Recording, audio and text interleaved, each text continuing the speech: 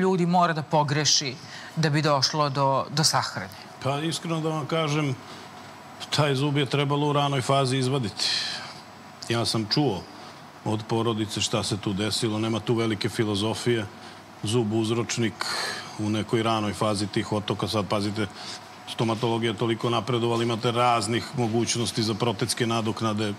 Više nije to tako da se sad štedi, čuva to zdravo zubno tkivo kao nekad, pogotovo što je ovde bilo očigledno zubu koji je bio gangrenozan.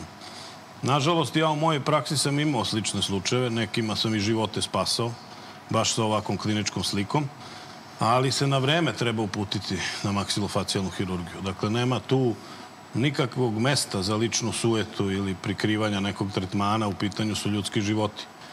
Ovde u Beogradu ima tri maksilofacijalne hirurgije, stomatološka, vojnomedicinska i klinički centar. Znači, zaista ima širok dijapazan mogućnosti da se u samoj početnoj fazi pošalje čovjek koji ima tako jedan obiman otok, pogotovo ako je od donjih kutnjaka, to je odma opasnost od razvoja flegmone, kasnije medijastinitisa i tih nekih drugih komplikacija koje su vrlo blizu letalnog ishoda. Ja sam uspevao eto, u kliničkom centru u svojoj praksi da neke od tih pacijenata izvučem u tim nekim poslednjim fazama i bio sam vrlo neprijatan prema kolegama koje to nisu na vreme uputile tamo gde treba. Kao što rekoh, tu nema mesta za ličnu sujetu, ne treba se plašiti poslati lekaru druge specijalnosti, jer specijalnosti postoje zbog toga da bi ti uputio nekome za ono što ti ne znaš. Ja kad nešto ne znam, ja kažem, ja ne znam to.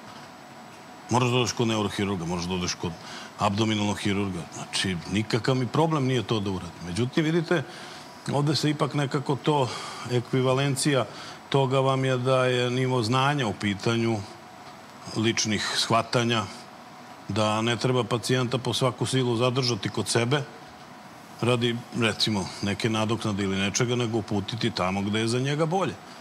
Dakle, niz je tu splet okolnosti da dođe u 21. veku do smrti od upale zuba, kako je navedeno tamo u tim otpusnim listama, ali ja mislim da to ne bi smelo da se događa, da smo mi daleko prevazišli taj period u nekoj davnoj prošlosti, da je to jednostavno sada u ovim uslovima nedopustivo. Dakle, prema mom skromnom mišljenju iz uvida u slučaj onog momenta kad se posumljalo da taj zub može biti uzročnik nekih problema, to je moralo da se izvadi.